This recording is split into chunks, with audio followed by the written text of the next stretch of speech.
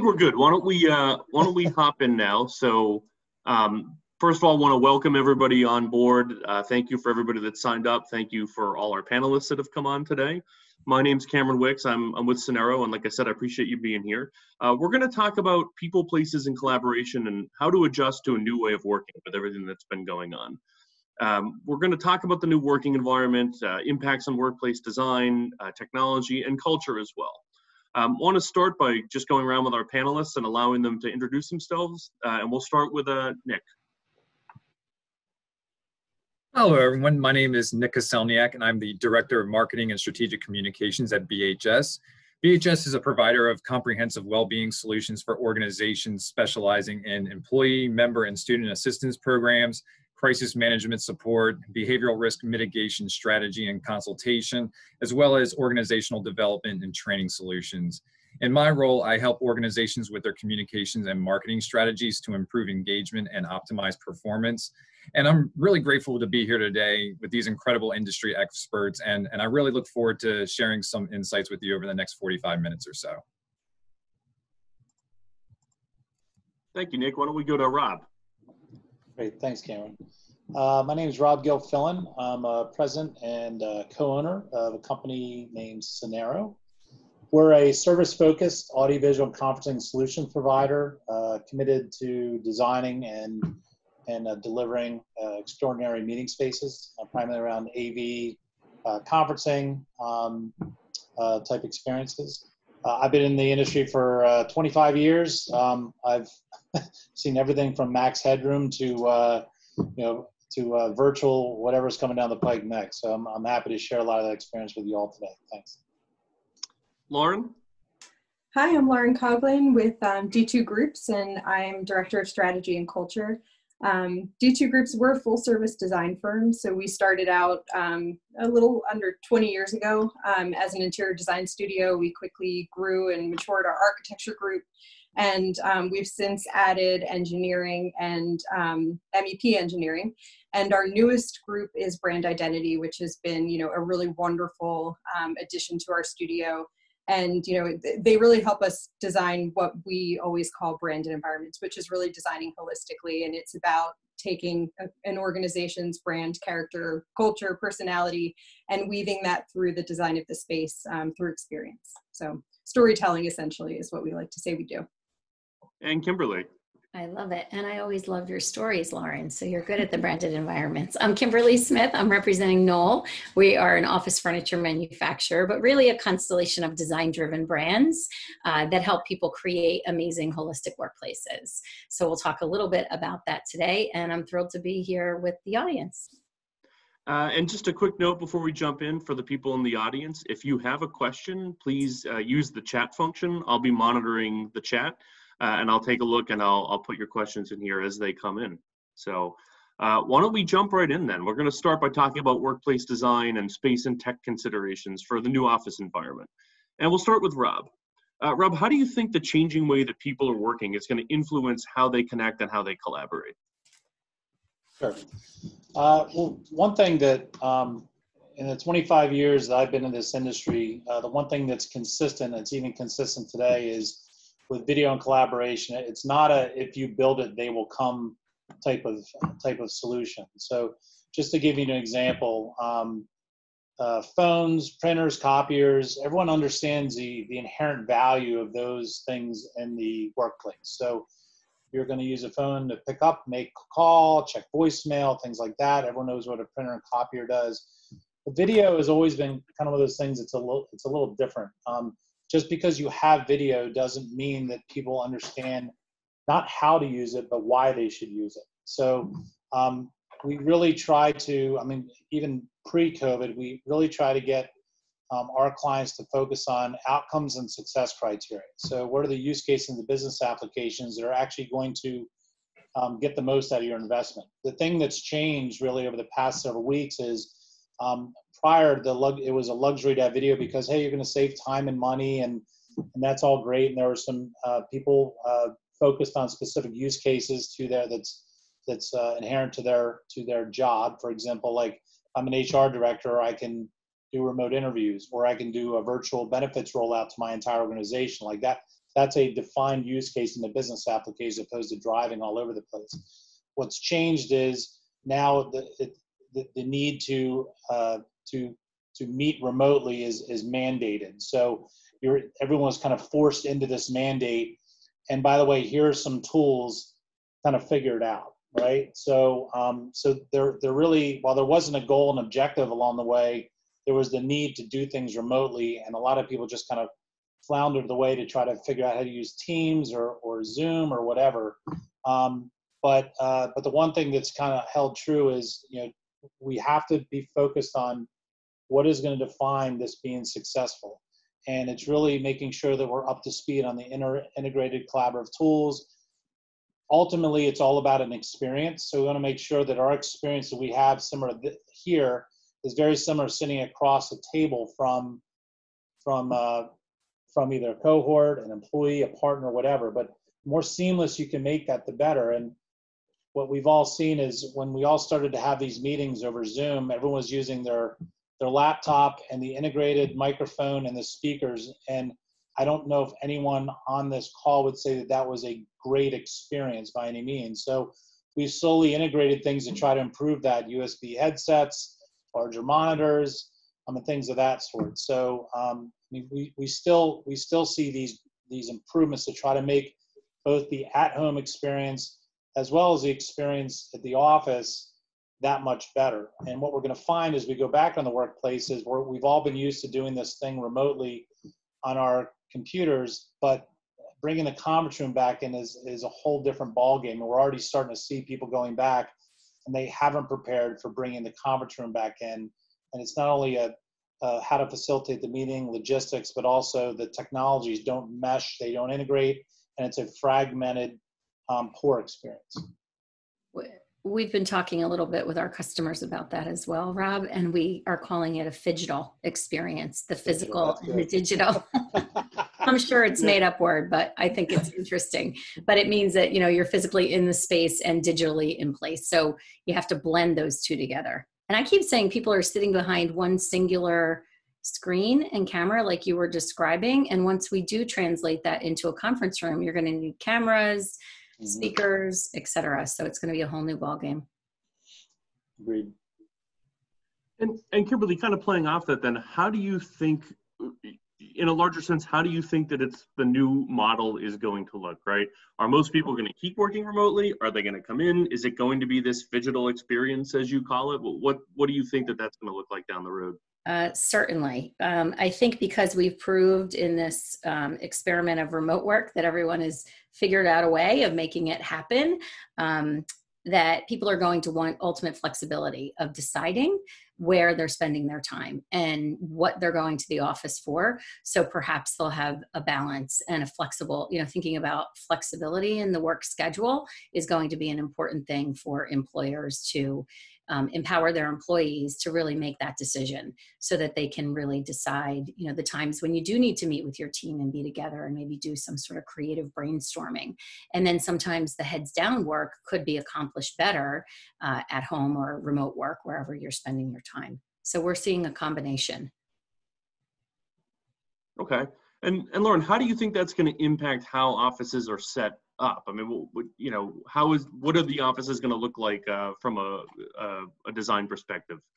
Yeah, I think. Um, I, well, I agree with you know everything Kimberly just said, and I think in order to answer your question, I'll pose one because I think that will help us kind of resolve maybe how the office will be set up. And that question is when one can work anywhere, when a team can work anywhere, what will make me walk out my front door and go into the office? Because that ultimate flexibility that kim's mentioning you know if we have that choice then we need something to be pulling us there. So i think what we need to evaluate is what did we gain by working from home on an individual level? And then what did we maybe lose? And see how the workplace can match that gain and you know pick up that loss. So um, i think ultimately what we've gained is a super flexible environment, um, an ownership of our days um, and our hours, and um, really greatly increased flexibility and ability to focus. I think even those of us who are home with kids right now, um, myself included. My husband is a essential worker, so it's me and my two girls, and I still find more time to focus at home than I did when I was in the office five days a week, which is pretty amazing,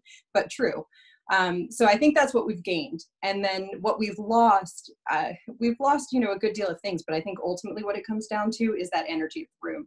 It's you know, it's being together in one place. There are so many advantages of being together in terms of quick decision making, um, you know, innovation um, mentorship, that kind of thing that just really is challenging for a lot of us to do virtually. And, you know, I listened into another webinar a couple days ago or a couple weeks ago, and it was about presenting virtually. And there was a really, really interesting st- statistic in that webinar um, that was percentages of interest. What makes you an interesting presenter or an interesting collaborator in, you know, a team setting? And there was a pie chart. I don't remember the full breakdown of percentages, but when you go virtual, you immediately lose 50% of your interest. So think about that 50% gone. It's pretty incredible. Um, so you can imagine, you know, those little, you know, body language nuances that we get from each other when we're bopping images around, being able to read each other um, and feed off that energy is a big loss. So with that said, I think that the workplace will be a place where we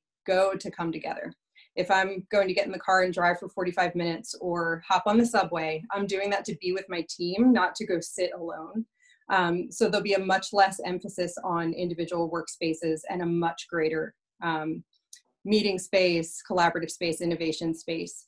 Um, and you know, just a couple additional things that I think maybe will shift is um, an increase in adaptability and flexibility. Um, you know, we've seen some of our clients who really embraced kind of this agile environment, and that could be, um, you know, unassigned seats or, you know, having a diverse environment where you can kind of move around. Um, or it could just be that it's flexible in terms of furniture arrangement and there's power sources and the space can be reorganized our clients who have spaces like that will have a much easier time coming back to the workplace than those that are a little more structured, a little more permanent, um, because they'll have to make greater infrastructure changes to address safety requirements and that kind of thing so that it doesn't feel too temporary. Um, so I think moving forward, we might see a greater um, embracing of a flexible environment um, at, in future planning. So um, one other thing that I wanted to mention too is culture. And although this isn't necessarily how an office is set up, um, I think it will drive how we approach space. Um, because what we're hearing is we're getting a lot of questions about, you know, it's not will my culture change? It's how will my culture change? How will I get ahead of this change? And how can I use my workplace as a tool to build the culture in a positive way. We know it's going, we know a distributed workforce will change culture. So, you know, how can that layout of the space, how can the components of it really make it a positive shift? Well, I think too, creating equity amongst the digital experience, you know, people that are physically that in place or there.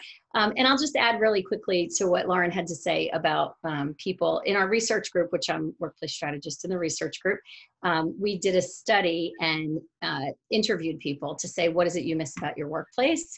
And 90% of people said they miss people. So, one of the topics of our discussion today is people, people, people. That's what they missed. We kept hearing it from everyone. Not a single person practically didn't say that.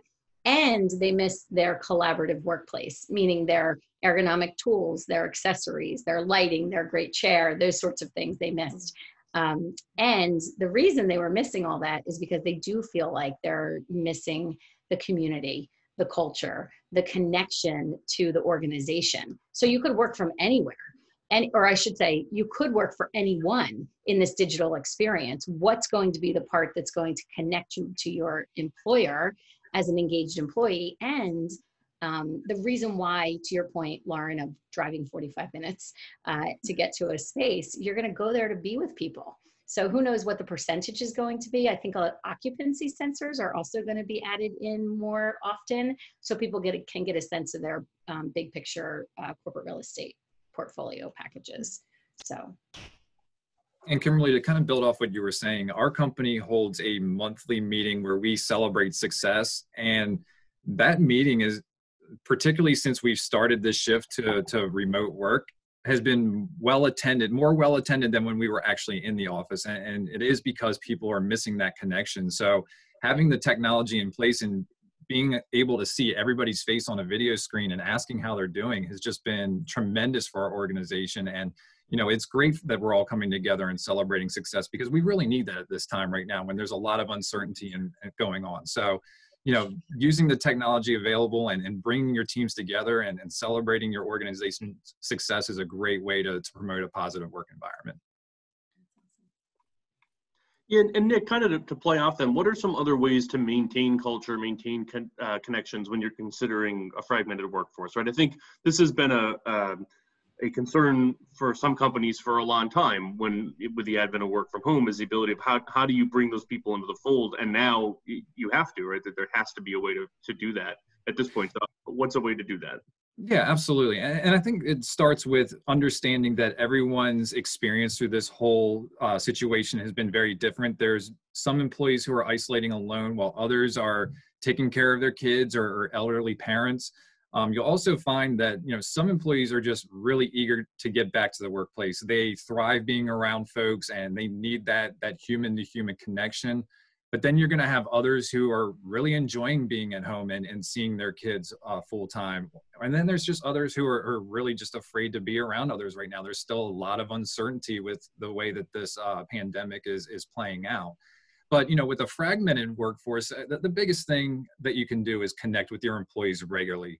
And there's many practical ways that organizations can, can, stay, can stay connected with their folks and, and really maintain a culture. You know, I think one of the, the, the big things that we've found have been successful with many organizations is just scheduling a regular mental health check-in. So employees can come together and openly discuss the challenges that they're facing and offer coping tips to one another. And this can be done at an organizational level, but I think for it to be really effective, it's, it's done more at the, department level. Um, you know these these check-ins are really comforting for for the folks who attend and it really helps them understand that they're not going through the, the situation alone so it's you know it's with these check-ins it's really important to to keep them regularly scheduled and you want to make sure that people know when and where and how to show up to them you know on a, and on a less formal level you know organizations and, and specific departments can also host virtual happy hours to, to bring their teams closer together. And we found that it's been you know fun and exciting to incorporate team building and morale activities um, such as scavenger hunts. So there, there's a lot of different ways that you can bring people together and and you know maintain that culture.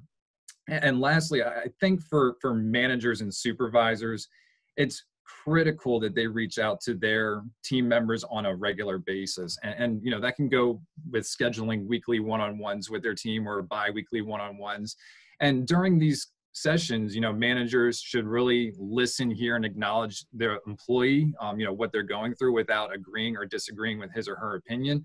And what that really does, it shows them that they really care about their personal well-being. And again, it really ensures a, a positive workplace culture. Mm-hmm.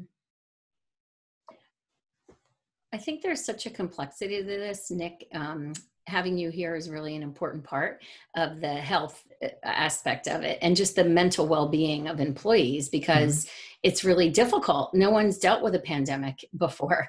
And there's so much complexity of having your kids and working from home, and there's no school and there's no daycare and all of those sorts of things. So I think that that's really been a challenge for people and much longer than people expected. It early in March when we started sort of hearing the rumblings that mid March mm-hmm. were going to be, you know, sheltering in place and stay at home orders. I think that people didn't expect that the virus would be lingering and people would be fearful of it for all of that time. So I'm just curious at BHS what you guys have been doing in the way of setting up programs for the companies that you uh, have as clients? No, and that's a great question. You know, one of the things that we have done, and, and a lot of our, our sessions are done virtually, but you know, we have programs for, for managers and supervisors to help them gauge the mental health and well-being of, of their folks, you know, through these regular check-ins.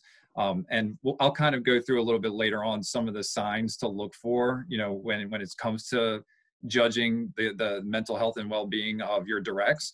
But, you know, it's really, for us, it's being a workplace consultant and a workplace performance partner. You know, we want to make sure that the organization is set up and, and truly understands that we can't rush people back to the work environment because they're some people feel really unsafe right now and you know don't want to come back to the work environment. They feel much safer in their homes. Yeah. And if we put them in an environment where they're uncomfortable, they're not going to be productive at all. Right. So we need to consider their emotional well-being on top of their physical health and, and, and safety. And if we rush people back to the work environment before it's it's really been deemed safe, then you know we can run into those situations where we're just our, our workforce isn't productive. So we're there to consult with organizations find out when it's right for them to bring people back to the workplace but also put in programs in place for for managers and supervisors to to keep the morale to keep productivity up and to regularly check in with their employees. Awesome. Interesting. Um, and, and kimberly what are your thoughts on encouraging connections between people who are in an office and those working remotely? And i'd, I'd kind of like to hear from uh, you know we heard from Nick on that front but kimberly i'd like to hear from you hear from rob about that point and, and lauren as well yeah, so our research team early in the pandemic, we were actually approached probably the second week, um, quite honestly. It definitely was still March by one of our big financial customers in New York. And he is a facilities planner and he was freaking out that, you know, how am I going to get people back to a healthy workplace? How am I getting people back? So we assembled um, panel discussions, peer to peer panel discussions that were all done virtually, obviously, right now.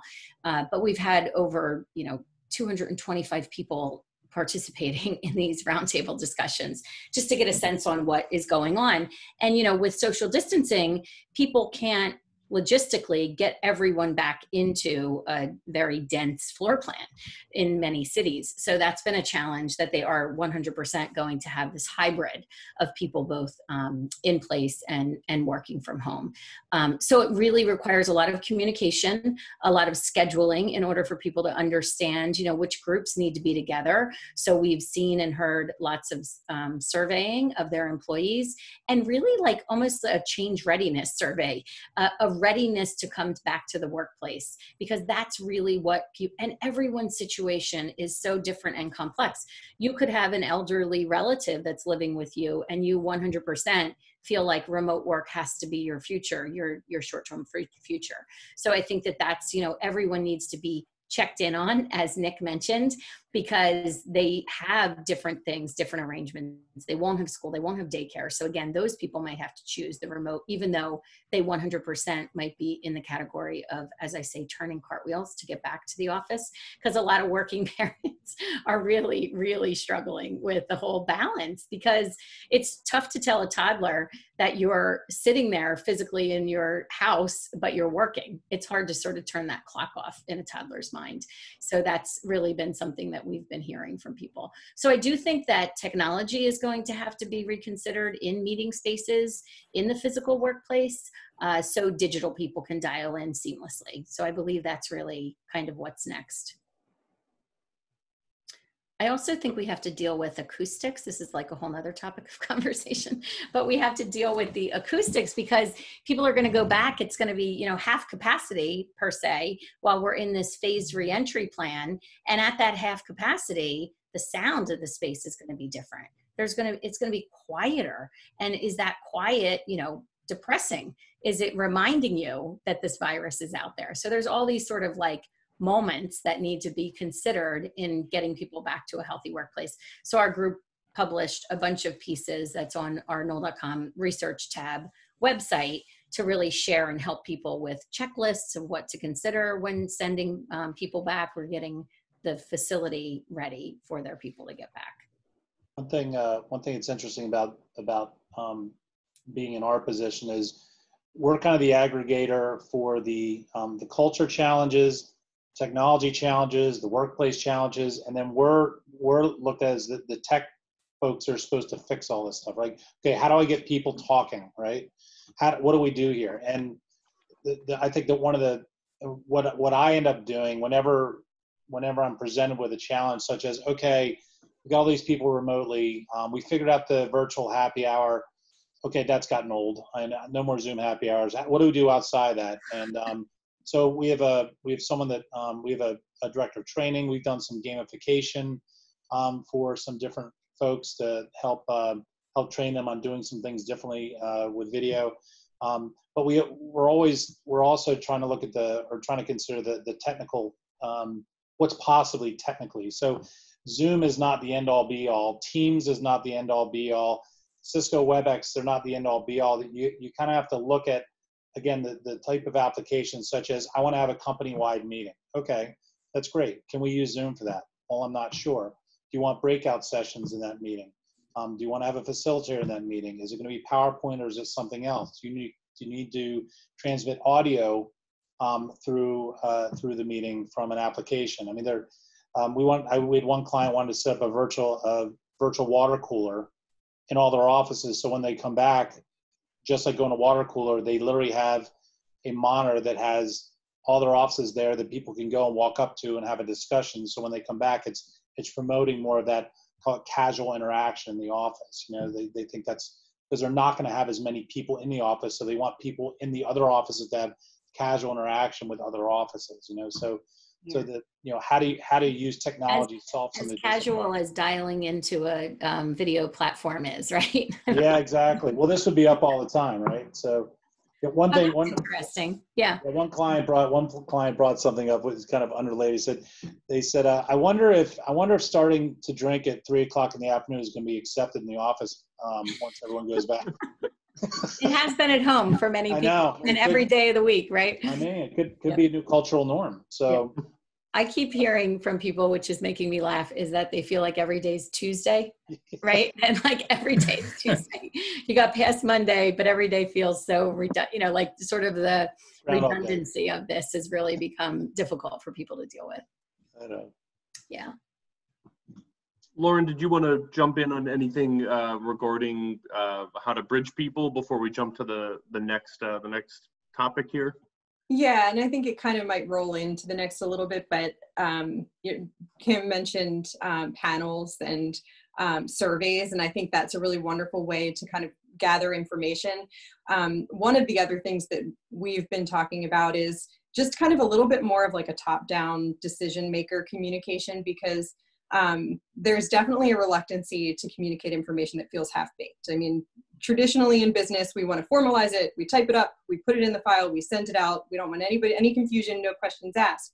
But i think you know all along this you know journey we've been on leaders should really have been communicating excessively.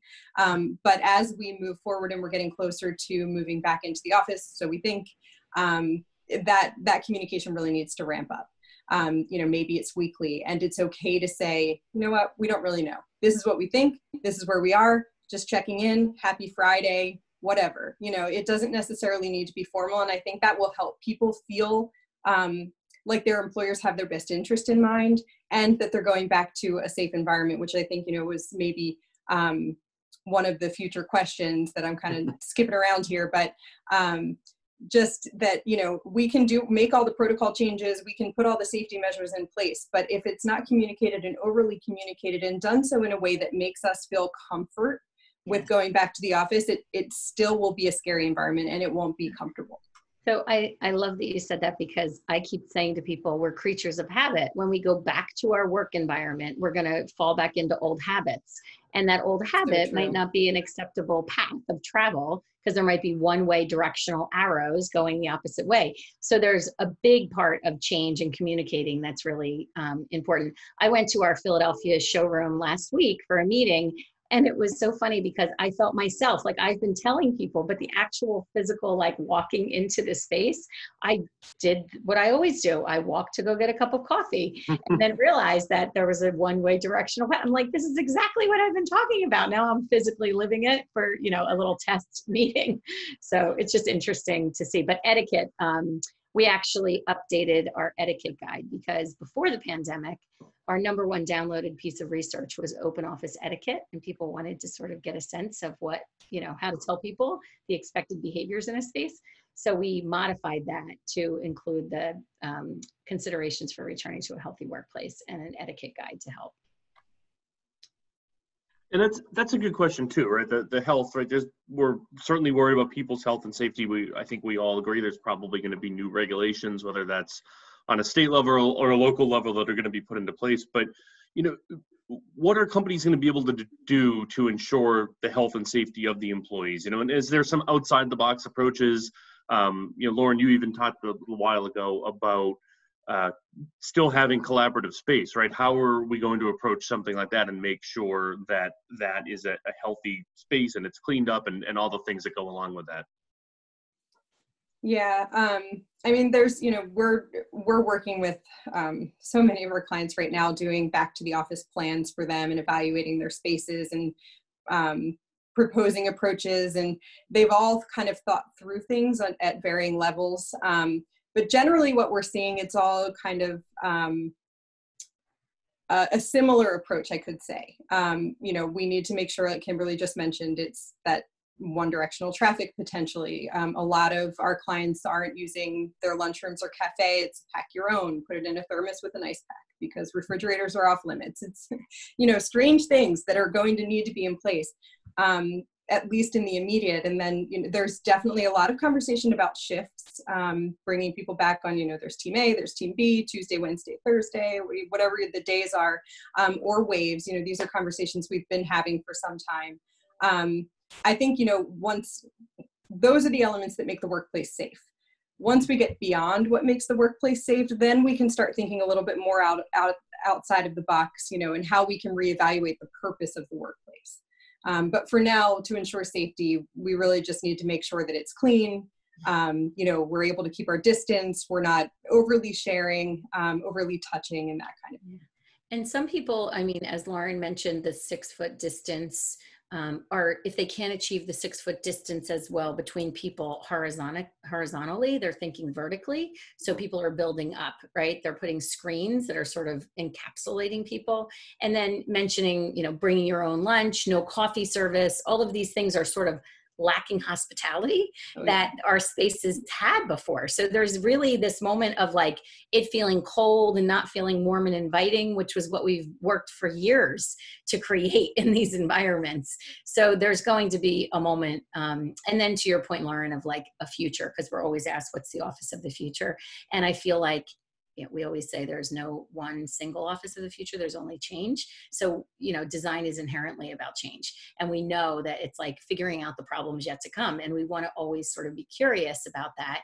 But i think the lacking the hospitality and feeling cold is going to make people want to stay home. So that's really a balance and something that a lot of our customers are really grappling with. You know how do we safely still serve coffee? How do we safely still do this? So it's been such a crazy time of discussion after discussion and figuring out the right math for every customer. That's been important. Mm-hmm. And even going back, because there have been times where I've gone back to the office for, you know, a small group meeting here and there, but, and I'm looking forward to it. And then I get in the room and we all have our masks on. And it's such an uncomfortable experience to communicate that way in person. It's almost more comfortable at this point to do this and actually be able to see each other's faces. So yeah, it's temporarily it will be a, a challenge. And Nick, we talked about uh, you were talking about all these changes in regards to health, and, and Kimberly, I thought it was really smart what you said about these places were built to be warm. They were built for hospitality, right? They were built to make people want to be there, and and that's going to change. Nick, how is that all of that going to affect company culture in terms of the, the workspace changing, the the health regulations and, and rules around that? What's that going to do? Sure. And, it's certainly going to have an effect on, on workplace culture. There, there's no doubt about that. You know, with the, the new social distancing regulations and organizations that decide to bring uh, employees back into the office environment. So we mentioned before that they're going to have to be flexible and really clearly communicate um, even if they don't have all the answers at the time, just overly communicating is, is not a bad thing at, at this time. So you know many organizations you know with, with these different things in place um, you know the, the one way directions um, you know not anybody in the break room you know only one or two people in there. You're going to find people who have differing views on on the safety precautions that are necessarily necessary in the in the workplace and clearly communicating and helping your employees understand the whys behind these regulations or workplace policies are really going to help them make them feel more secure in the workplace and to really to go even further you know organizations are going to need to provide education and training to employees on these new practices uh, the new equipment and new procedures and to help the the employees and also their customers feel safe both physically and emotionally. So you know as i mentioned before everyone's pandemic experience is going to be different. And to really meet, to maintain a, a positive workplace culture it's going to be imperative for organizations to stress the need for employees to be respectful of others, their personal situations, their emotions of feelings related to the pandemic, and the other things that are going on right now. So, you know, one way that organizational leaders can ensure that the best possible reentry results are achieved is to really leverage the knowledge, the resources, and relationships that you have, you know, from a top tier employee assistance programs.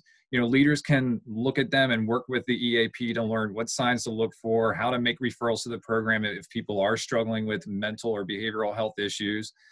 And really, I, the, the last thing I wanted to say about this is, is the thing that we really need to remember is that a crisis this is a crisis that families neighbors communities and yes even workplaces are, are, going through together and if the workplace is doing the right thing going through a crisis like this is going to be an opportunity to gain work cohesion and become a stronger unit yeah i think i think that's definitely true nick and it's, it's pretty interesting what i've heard is obviously we've been in a terrible situation but for a lot of people they've like you said they've become stronger They've become closer to family, closer to friends. Uh, even working from home for some people has been a has been a good thing. So, um, you know, maybe there are some some positive things that in the long run come out of all this for sure. Um, Rob, what kind of technology is going to be helpful in the new office environment, right? So, um, if there are things regarding who can come in or shift work or health regulations, things like that, and we can only have a certain amount of people in at a given time or, or whatever it is. What's the technology that's out there that's really going to help drive uh, everything going forward? So, um, like I was discussing before, you really want to focus on the why and the outcomes, right? So if you look at the, the and we've all been talking about the business challenges. So you kind of clip away the business challenges kind of one by one. You know, we're talking about culture and communication, right? That's one that I think we've been talking about a lot. So um, if you look at what we've done traditionally for for organizations, uh, uh, like digital signage and communication type solutions within space is something that is is become a norm over the past 10 years. Um, that's great when you're in the space. What about for people that are not in the space now? So um, there hasn't been a ton of consideration in the past with people that have been working remotely, but today um, there are a variety of solutions that will take you know your inner office communications and extend them through an application within Microsoft Teams. Say, I mean, there are a ton of different ways you can do that. So you got to think about how to have consistent messaging from a variety of locations. Um, I mentioned the virtual water cooler is something that we've talked to several of our clients about, and they find that resonates with them, and they're looking to to design and put those into the, into the various spaces. So that's one. Um, obviously, uh, uh, health and wellness and we've all gone into office spaces and one of the standards now is they're going to take your temperature on the way in right? So um, uh, there are a variety of solutions around that depending on what type of organization you are and how many employees you have. Um, there are scanners that you can walk in walk up the lobby literally look at it it'll take your temperature it'll record it and you walk in it'll give you a green or red and it'll, it'll record that um, uh, cameras today actually have integrated heat sensors in them so if you can have a climate controlled lobby and you have a number of people walking into the lobby, the camera can sense different different people as they're walking in and actually take multiple temperatures of the people coming in and record them as they're walking through. You can actually integrate with facial recognition as well. So you know who's coming in, what their temperature is for the day, and make sure that gets recorded. And, and companies are very concerned with that type of data as well. It's a little big brother, but um, there's not one large Fortune 1000 company that we're talking to that isn't considering solutions around that. Um, being able to, um, you know, have recognition, take your temperature, and actually have a kiosk below to to walk you through putting on sanitizer before you walk into a space. And we, we're seeing a lot of those types of solutions, and we're talking to clients about that. Um, touchless is something that obviously is is on everyone's mind. Um, even before this, uh, one of the things in our industry that's really been driven is is how do you have um, and and traditionally these integrated conference spaces the, ones that we see get over designed a lot of times. They're very complicated. They have a lot of buttons.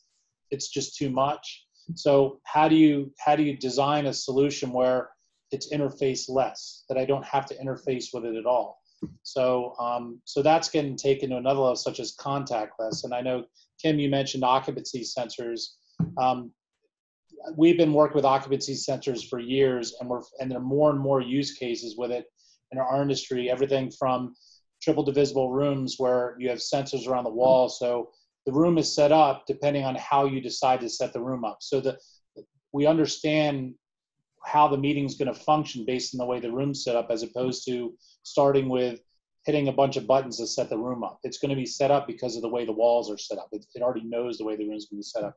As you walk into a conference room, it senses you're coming in. It'll turn the system on. As you plug in your laptop, it'll go to the input, and you can run the meeting. When you unplug it and leave, it'll it'll shut the system down. So um, there are a ton of things you can do that you don't have to really touch anything. You don't have to tell anything to do anything.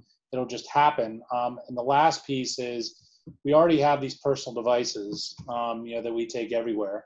And um, so is having an application that as you walk into a space, it senses that you're there based on based on Bluetooth, and you can actually operate the system or the solution in the room on your personal device that you're already comfortable with. So you're not interfacing with anything else. It's actually you already have it. So these these um, these on top of just improving that experience in the conference room through improved audio. They have cameras that will auto frame and travel around with you and are much more intelligent than they were even a year ago, um, where it's it's not the awkward camera angle that nobody changes. It's focused on someone's nose in the conference space. I mean, I sat through a meeting weeks ago that was like that was amazing, but it actually is smart enough to know and it'll travel around the room and frame in the different people that are talking. So, and those are just some of them. Um, and the last piece is companies. The trend is more has been more meeting spaces.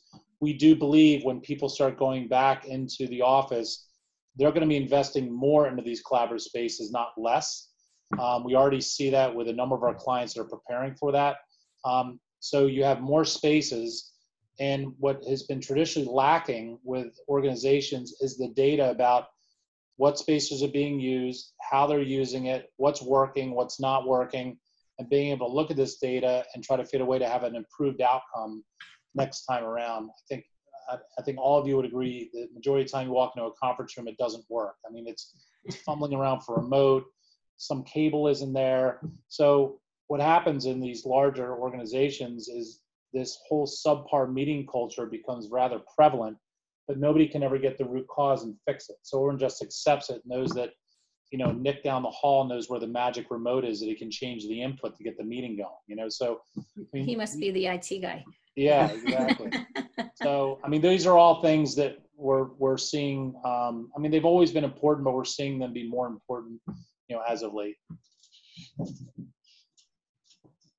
All right, thank you, Rob. And actually, I have an audience question I want to go to real quick. And just a reminder, feel free to submit questions uh, through the chat. Uh, in this case, it actually came in through the Q&A portal. So um, how do you, how do multi-tenant facilities manage and maintain workspaces with diff, uh, such different needs? Uh, the example they gave is a facility that has a fitness center with a day spa, a rehab office, and a meeting and event business. Mhm. I'm happy to answer it. Sure, Yeah, okay. there's a couple ways. Go ahead. You go, you go We've been talking to lots of people who have multi-tenanted spaces and they're concerned about, well, I would say the space types that the, the person asked about weren't the ones that are really um, in question yet until people really start to further occupy buildings. It's really been more about vertical transportation, so elevators, right? People have been very concerned about how to um, efficiently get a lot of people into a space in not knowing the plans of the other tenants within this space.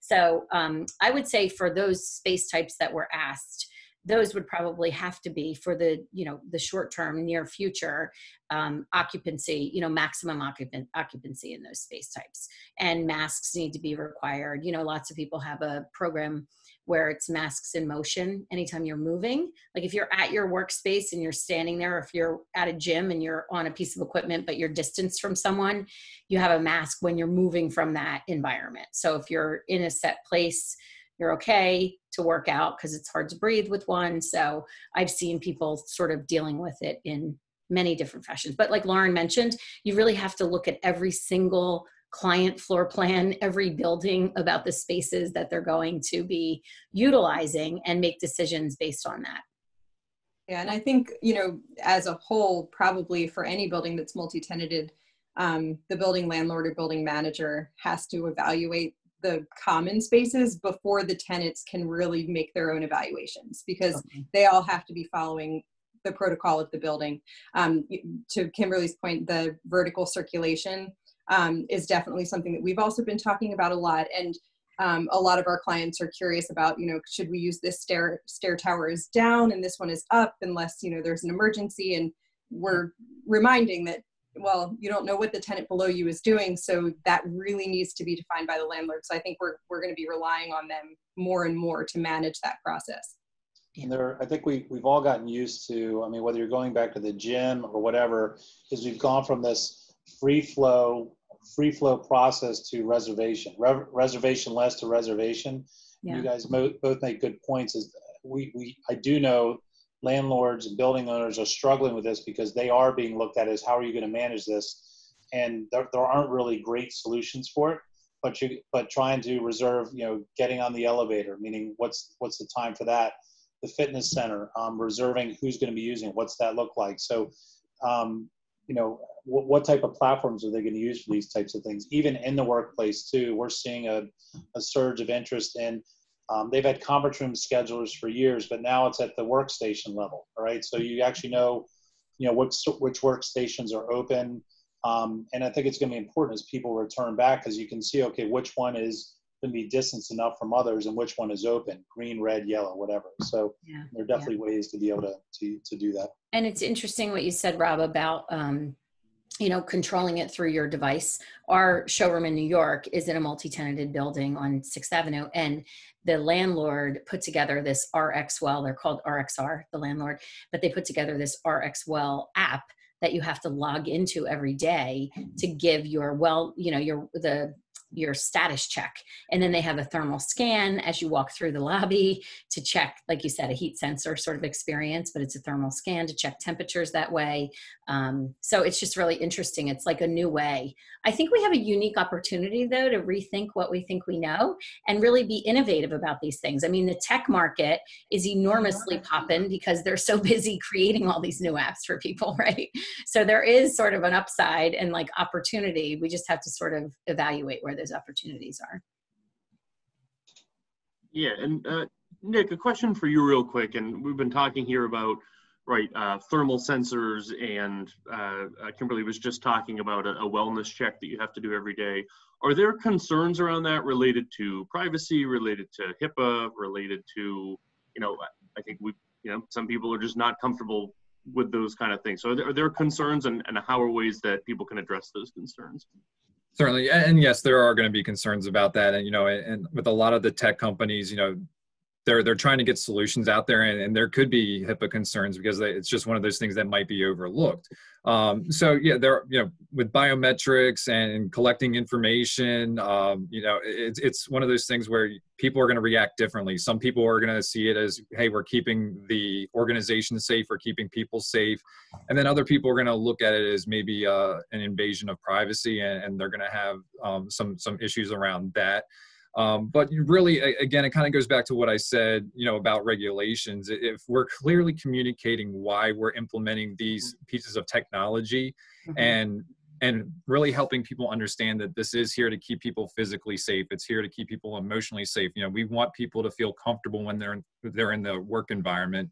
You know we need people to be productive while they're here and this is the best way to achieve that then and i think that's going to be the, the best way. Again communication is is always going to be key and then continuing to perform those those check-ins. You know managers need to listen to their employees if they're continuing to bring up um, reservations about these different um, tools that are being implemented, then yeah, maybe that's something that needs to be reevaluated and- looked at. So I think it's just really trying to keep pulse of your employees and- and just seeing how they're doing and how they're dealing with these changes emotionally, and you know, helping them understand the reasons why that these things are, are enacted. Thank you. So we are uh, we're getting close to the end here. Again, if anyone has any other questions, please submit them. Um, we had a, another topic to kind of go into here, but I, I think we should start wrapping it up. So I just want to go around the room. Um, everybody take a, a few minutes and just say, uh, provide me or provide us with an overview of where you see the future in general of the workspace being like and the work experience being like. And we'll we'll uh, we'll start with uh, right back to Nick. Okay, no, that's good. Yeah, you know, I, I think for the, the, time being, for the foreseeable future, you know, it, we're going to still have a fragmented workplace. You know, as I mentioned, there are a lot of people who and, and organizations are finding out that their employees are, are productive at home um, and, and, are going to be able to do a great job. But then there's those folks who who need to be back in the workplace and figuring out how to to balance that that um, fragmentation of, of a workforce and, and still maintain a, a, a culture um, that you've had before. And, and again, it's not going to be the same as it before, but to maintain that positive workplace culture and figuring out those ways. And it is implementing technology so that people can stay communicated, so that we can see each other on a daily basis. Um, again, having those those check-ins with your employees, you know, it, it's really about restructuring our days so that we can not only maximize productivity but also make decisions quickly and, and move forward in, in a work environment. So, you know, I think that, you know, we still have a lot of uh, unknowns that, that need to be uh, uncovered before we move forward, but we're making progress day by day. And, you know, as long as, again, we keep communicating, we keep um, checking in on each other, making sure that we're, we're all feeling good and, and, that we have the support that we need. And again, you know, I, I will repeat, you know, lean on your employee assistance program. You know, they should be there to help and support you and and guide your organization through any of the challenges you might be having when it comes to the the mental uh, health and, and emotional well-being of your folks. So, you know, definitely lean on them because they are a great tool and a great resource. Thank you, Nick. Rob, why don't we jump over to you? Sure. And I know I, am probably like a broken record saying this, but um, you know, our our goal as an organization is to make sure that what we're delivering is going to be a consistent, extraordinary experience for our clients. And um, focusing if I just focus on the meeting space, because I think that's a, a lot of what we're talking about. Um, you know, there there are always things that are. Changing. I mean, it's it's it changes so quickly. Um, but the one thing that I think is going to be consistent is that um, people that are using these spaces, especially when they go back, are going to understand that just good enough doesn't cut it. Um, the one thing that's nice, I will say about about the the younger generation entering the workforce is they're expecting these tools to be there. They don't want to. Nobody wants to call IT help desk to launch a video call. It's just it's unnecessary and it's unreasonable you know but it but we still see it happen. And again it's because it's just been accepted for so long. So as people go back into the workplace we're already hearing it. They're going to understand the difference between like we're on a conferencing platform now. Like zoom and teams it's a platform. It's not a solution. This the, the conferencing and a collaborative solution encompasses a lot of other things that uh, i don't think um, people are really going to be in touch with until they go back and see what it's like sitting in a conference room and bringing on six or seven people from different locations and needing to collaborate on some type of integrated document within teams. They're going to realize this is awful and we really got to rethink it. So um, and the cool thing is there are a ton of new tools that are going to help make that experience much easier much more seamless. Um, the space is going to be much more available so um, we we still see, and we get challenged by clients based on this is where we need to head. Can you? We need to get it better. You need to get the experience better. It's got to be easier to use. I want to walk in a room, just have everything go. You know, so um, you know the clients that have been that have, that have been um, you know on the I'll call it a cutting edge are continually pushing that. It's great because the stuff's out there. You can design it that way. You just got to make sure the client understands that you know this is where they want to head. Lauren. What do you think? Well, I think the future of the workplace potentially um, could be more like an innovation center. Um, I think if we look at innovation centers today as they're designed, um, there's very specific purposes. It's all around sharing ideas, um, brainstorming, coming to a consensus, uh, making decisions, and um, I think that's what the future of the workplace is going to be about. So that could be a good framework um, to help us define how we lay it out the other thing about innovation centers is there are individual workspaces, but it's not the primary space the collaboration space is.